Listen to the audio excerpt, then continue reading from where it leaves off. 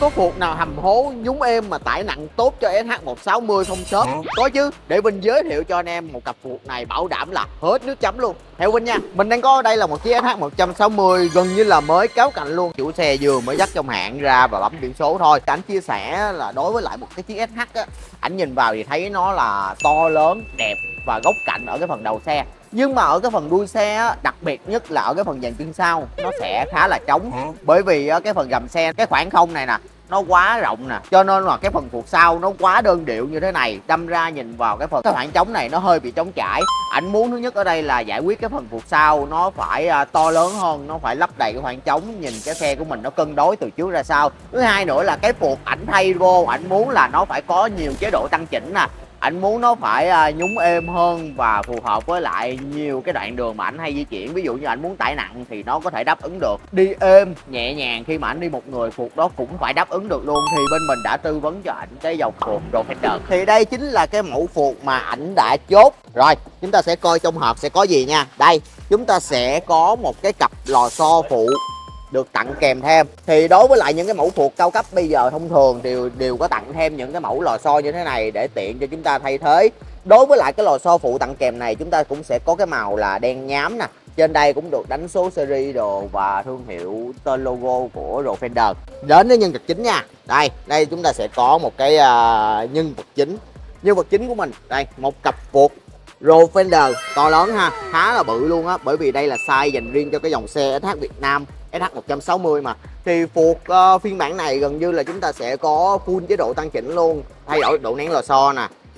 Thì bao dưới chân phục nè và compression ở trên bình dầu. Một cái điểm hay ở cái dòng phuộc Defender này nó có được mà hầu như bên thấy những cái dòng phục khác chúng ta sẽ không có đó chính là những cái con số ở trên cái dòng phục này. Ví dụ như là ở trên cái núm chỉnh nè chúng ta sẽ có những cái con số kèm với lại ờ, một cái mũi tên chỉ lên như thế này. Thì khi mà các bạn tăng chỉnh phục như vậy nè đó thì chúng ta sẽ biết được cây phuộc của mình nó đang nằm ở cái mức nào. Wow. đó nó rất là tiện luôn cho cái việc mà chúng ta canh chỉnh hai bên. Kể cả trên cái núm chỉnh trên mình dầu nó cũng có một cái à, thông số tương tự như vậy luôn. Nó cũng đi kèm số nè mũi tên nè để cho mình có thể dễ dàng chỉnh. Và một điểm nữa làm cho cái phuộc Defender này nó nó khác về cái kiểu dáng này này kia cho so với lại những cái dòng phuộc khác đó chính là về cái phần chi tiết bình dầu. Anh em để ý đi đối với lại những cái dòng phuộc khác á, thì cái bình dầu nó sẽ là CNC nó sẽ à, có nhiều màu nhưng mà đa phần sẽ là trơn luôn. Còn đối với lại Defender thì họ sẽ tạo những cái à, khứa khứa khứa như thế này trên cái phần bình dầu.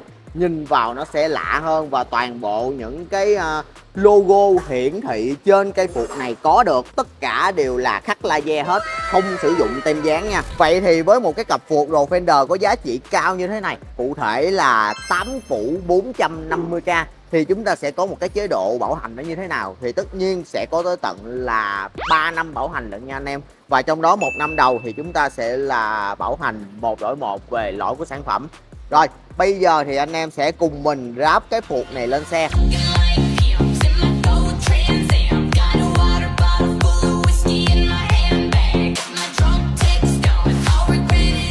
Giờ thì thuộc rồi Fender đã hoàn chỉnh một bên lên xe của khách thì anh em thấy đó. Đối với lại cái mẫu phụ có bình dầu này, nó sẽ à, khoét khá là nhẹ ở cái phần nhựa nhám.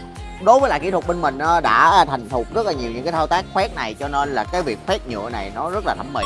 Nó không có bị lộ ra bên ngoài, hầu như là nhìn từ trực quan vô anh em không hề biết mà cái phuộc này phải khoét nhựa một tí xíu đâu nói chung là cái khoảng khoét đó nó khá là nhỏ cho nên về cái vấn đề mà sau này anh em chơi chán rồi chúng ta về zin đó, nó sẽ không ảnh hưởng gì đối với lại cái phần dè này hết đó. Phục thì như mình đã nói sẽ có gần như là full chế độ tăng chỉnh luôn và hầu như tất cả các chế độ tăng chỉnh đều nằm lộ ra phía bên ngoài để cho chúng ta dễ dàng thao tác nè. Những cái phía mũi tên này là được nằm ở những cái vị trí trực quan, rất là dễ quan sát cho nên chúng ta có thể tăng chỉnh được nè.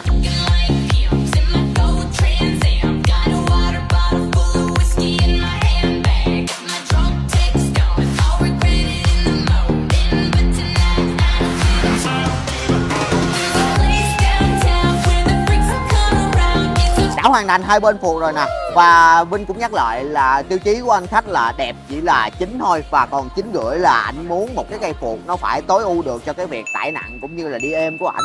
Thì để uh, có được cả hai cái tính năng đó trên cùng một cái cây phuộc thì chúng ta phải uh, sử dụng những cái dòng phuộc có những cái chế độ tăng chỉnh như thế này nè. Thì khi mà anh em uh, chúng ta muốn tải nặng hay là chúng ta muốn đi một mình nó phải êm nhẹ nhàng thì chúng ta có thể siết hoặc là xả những cái núm chỉnh rebound và compression này ra. Thì đối với là dòng phụ mà có full 3 chế độ tăng chỉnh như vậy thì chúng ta có thể can thiệp vào những chức năng đó. Bên mình sẽ hỗ trợ ráp phuộc cho xe của anh em, ngoài ra sẽ tặng kèm thêm 4 bước chăm sóc xe miễn phí nữa, trong đó sẽ bao gồm vệ sinh kính hậu, mặt đồng hồ, tăng thắng, tăng sơn, tăng côn và bơm bánh xe. Bởi vì sếp mình chia sẻ không quan trọng hóa đơn của anh em là bao nhiêu tiền. Quan trọng là phục vụ anh em cảm thấy hài lòng, anh em thường xuyên quay trở lại ủng hộ số hai bánh là bên mình đã cảm thấy vui rồi. Xin chào và hẹn gặp lại anh em.